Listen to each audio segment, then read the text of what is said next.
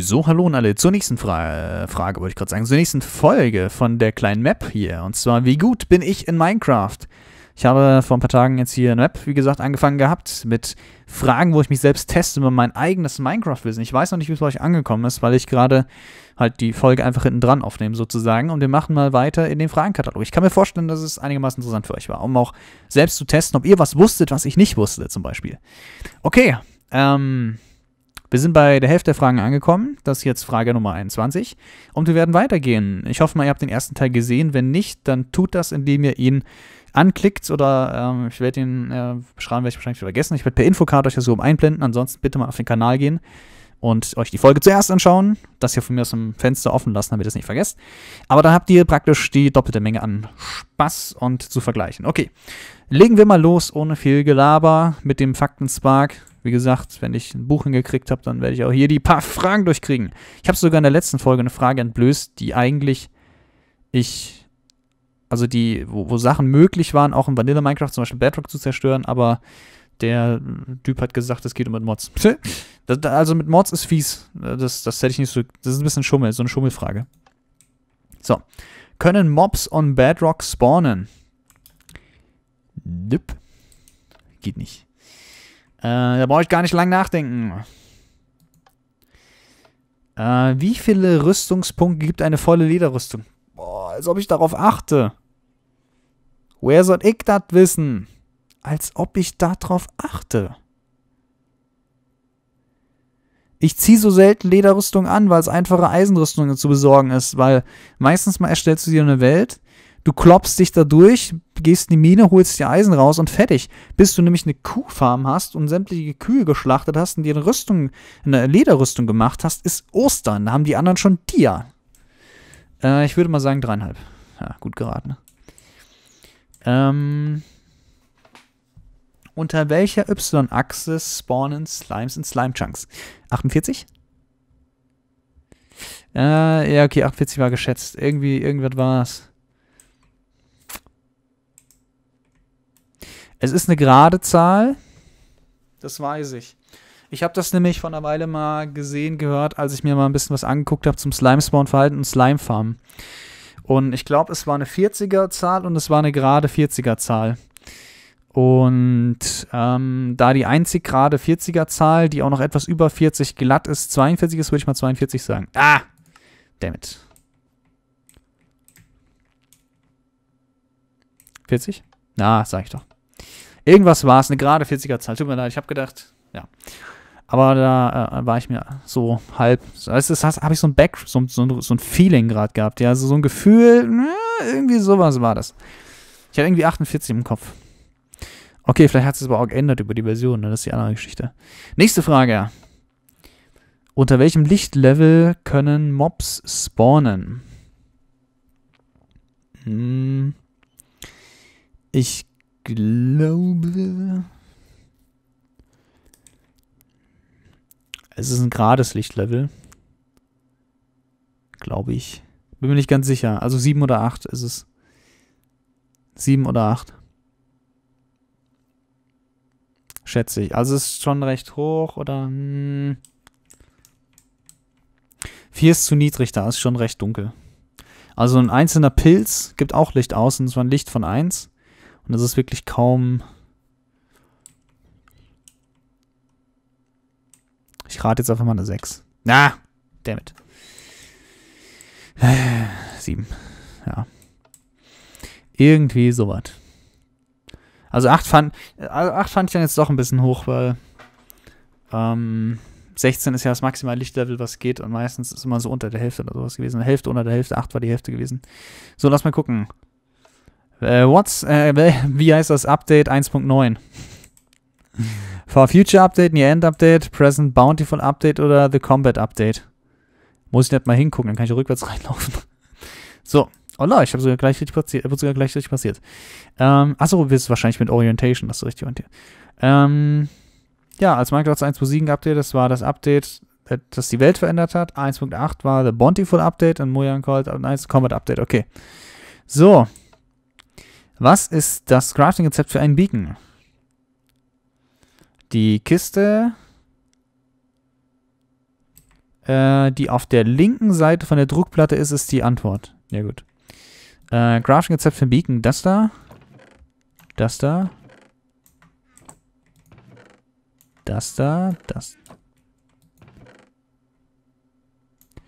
Are you kidding me?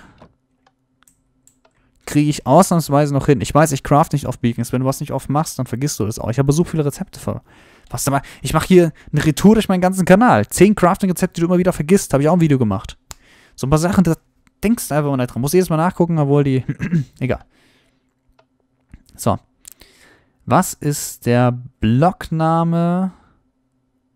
PS, the name used in coding. Wie heißt der Blockname dieses Blocks? Äh. Also es ist Packed Ice, aber ich glaube, der möchte wissen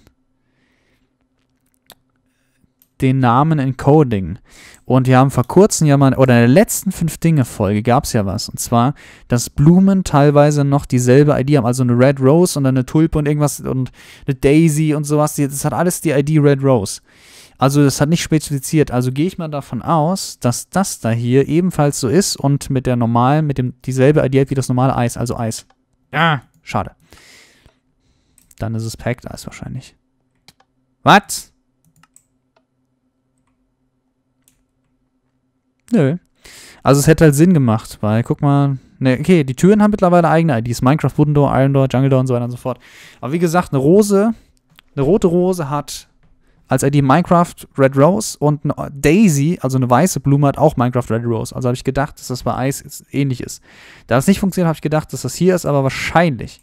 Wahrscheinlich ist es Compressed Ice, weil das halt eine Alternative wäre für Packed Ice. Packed Ice war dein Name offiziell bekannt wurde und Compressed Ice heißt in dem Tag drin. Meine Fresse. Kommt erstmal drauf. That, das ist eine Torch. Achso, das soll eine Fackel sein, da vorne.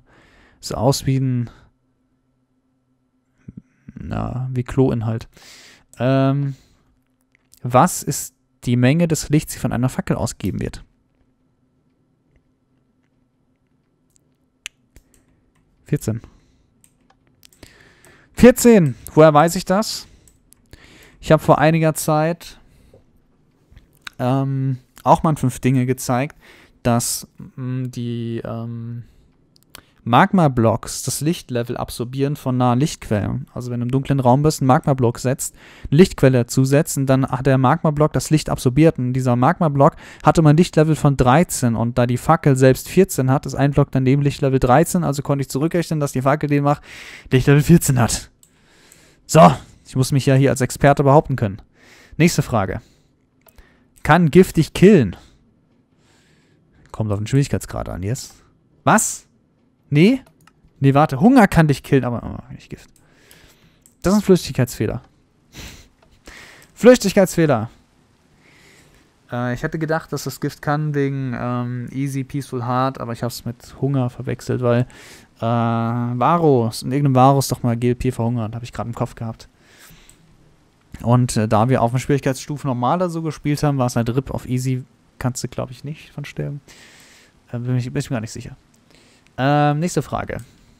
Welcher dieser Dinge kann nicht bewegt werden? Mit einem Pisten? Du kannst ein Crafting Table mit einem Pisten bewegen? Das zählt das so als Ofenblock und sowas, weißt du, dass man nicht solche schönen Schaltungen machen kann. Cannot be moved.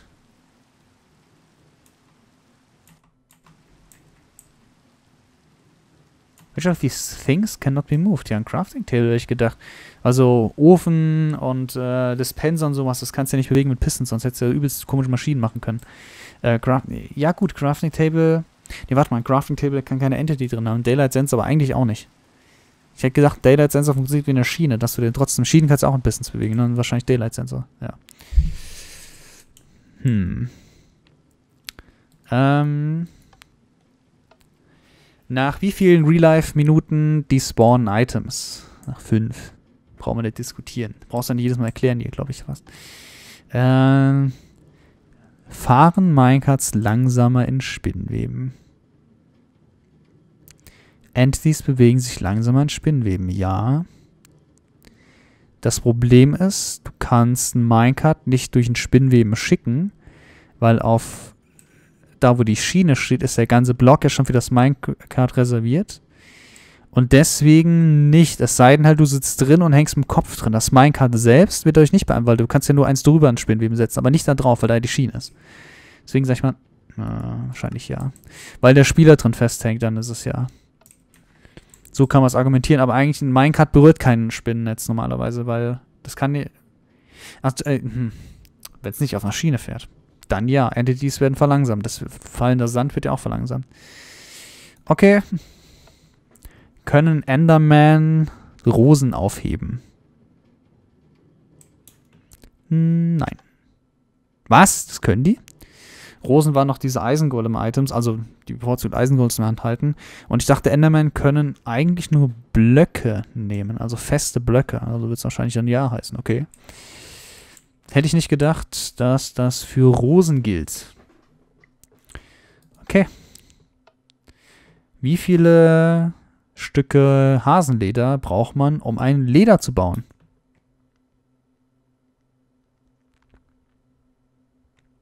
Hm. Vier. Ähm, nächste Frage.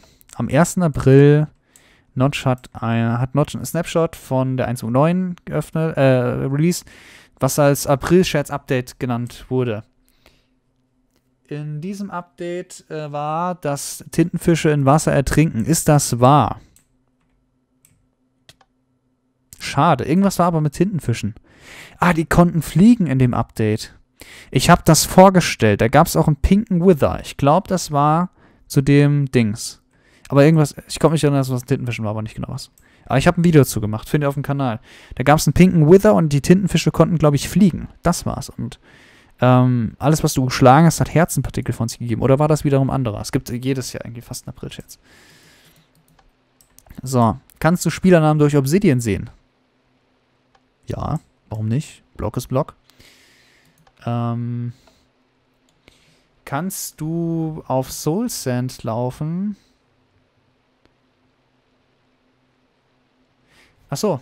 Äh, wie kann man auf Souls noch langsamer laufen, ohne zu sneaken und so was auch immer. Äh, Spinnweben drunter, Soul drunter, Eis drunter, Wasser drunter, Eis drunter. Wenn du Eis unter Soul packst, läufst du noch langsamer. So.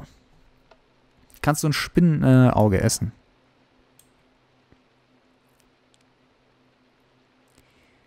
Nur in Mods wie Forever Stranded, da geht das, das weiß ich. Aber sonst solltest du es eigentlich nicht können, oder? Geht das auch in Vanilla? Ich riskiere es mal. Ja. Es geht wohl auch in Vanilla. Da war ich mir jetzt aber gerade echt nicht sicher. Man kann Spinnenaugen anscheinend essen. Das ist aber ein Fünf-Dinge-Fakt sogar fast wieder, weil das habe ich jetzt noch nie gesagt, nie gezeigt, ist mir noch nie aufgefallen, wirklich, weil ich es nie wirklich probiert habe. Aber ich weiß, dass es ein Forever Stranded ging, das war auf der 1.10 und ich habe echt überlegt, ob das ein Mod-Feature ist. Aber dann war ich mir nicht sicher, also habe ich gesagt, dass auch in normal Vanilla geht. Können Fledermäuse friedlich spawnen? Ich glaube ja. Da war doch mal was. Über Fledermaus-Spawnrate habe ich ein Fakt in meinem Buch stehen.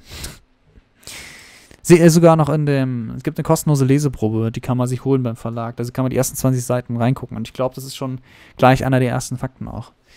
Dass die Fledermäuse eine erhöhte Spawnrate haben an, zu einer gewissen Zeit, aber mehr könnt ihr nachgucken. So. Kann ein Wither in einem Minecart fahren?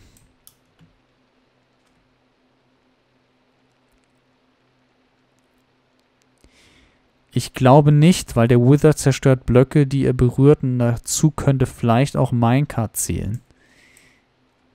Nope. Und was? War schon durch? War schon 40. Frage?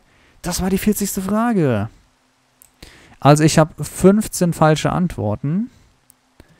Da, ähm, ja, manche Sachen musste ich einfach raten oder war ich mir nicht 100% sicher.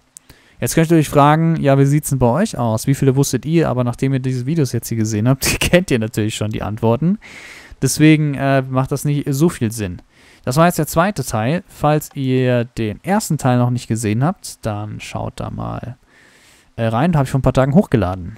Wenn ich dran denke, werde ich noch wieder einblenden bei Infokarte, was auch immer. Und dann sieht man sich im nächsten Video. Sinnlos Gachen. Und tschüss.